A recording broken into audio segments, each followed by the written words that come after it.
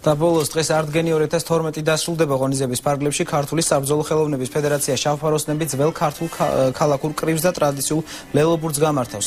საღამოს კონცერტზე კი ანსამბლი ლაშარი, საგალობელი, ქუთაისის სიმღერისა და ცეკვის სახელმწიფო ანსამბლი ლელა თათარაიძე და კვარტეტი კესანი იქნება წარმოდგენილი ფესტივალს 22 საათზე ფრანგული ჯგუფი სპიდენ ჩარავანი დახურავს ფესტივალი არტგენი უკვე მე-9 წელია ტარდება. არტგენი 2012-ის 3 ივლისს კახეთში დაიწყო და რეგიონული ტური საქართველოს რამდენიმე ქალაქში ზუგდიდში, წყალტუბოში, ჩოხატაურსა და ფოჩში ჩატარდა. 21 ივლისიდან არტგენმა თბილისის ეთნოგრაფიულ მუზეუმში გადმოინაცვლა.